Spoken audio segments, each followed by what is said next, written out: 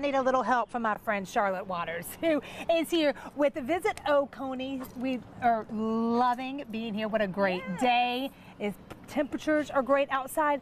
Well, you know it best. What attracts visitors to this area? Well, I did order this weather for you. Thank you. We, we owe you. We owe you big. That's right. Uh, well, it's our waterfalls, rivers, and lakes, which we describe in our visitor's guide for Boom. anyone that's wanting to plan a visit here. We promote our different waterfalls. We have hikes from easy to extreme, depending on how long you want to hike. And some of the beautiful ones in the area are Yellow Branch. That's Mm-hmm. about a mile and a half in. Marcus was bragging about that one in our like loose talk segment. Said that's one of his Yes, favorites. It is amazing. And then we have some extreme hikes where you could go two hours in, two hours out. Yes. And then, of course, our whitewater rafting is amazing on the Chattooga River. Mm-hmm. We've got fly fishing that we're going to talk about soon. Yay. That's on Chauga and Chattooga. And I got to experience that in the cold one uh, two winters ago and had a blast. Didn't catch anything, but had a blast. Hey, sometimes just being out there is half the fun. It is. It's worth going out and learning how to cast that fly fish. And then, of course, our fishing in the area. We're, I'm right now in the middle of the Phoenix All American Championship. It's a major league fishing that's here at our new Seneca Creek. But Walhalla is an amazing place. Stump House Tunnel is actually the number, it's Googled more than anything else in Walhalla. Really? Yeah.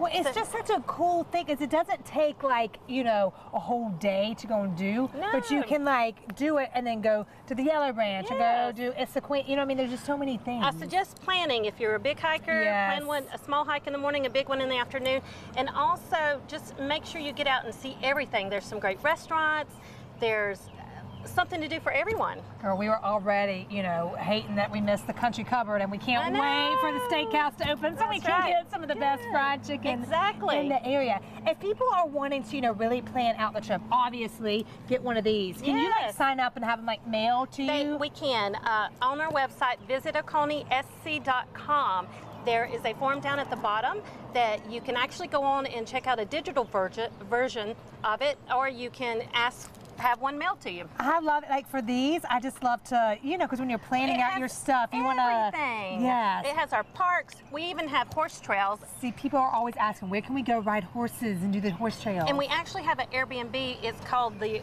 Barn and Bed, where you can bring your horse and spend the night. That is so cool. Yeah. See, there, it's just so many fun things to do. These towns, they're so welcoming. Everyone that comes out is just so nice. Great food and Yes. mainly the outdoors. That's what it's all about, Charlotte. Well, you've been a great host. Thanks. Thank you so much for everything we're doing. And again, what's the website that you want to visit? It's to? visitoconeesc.com. I love it.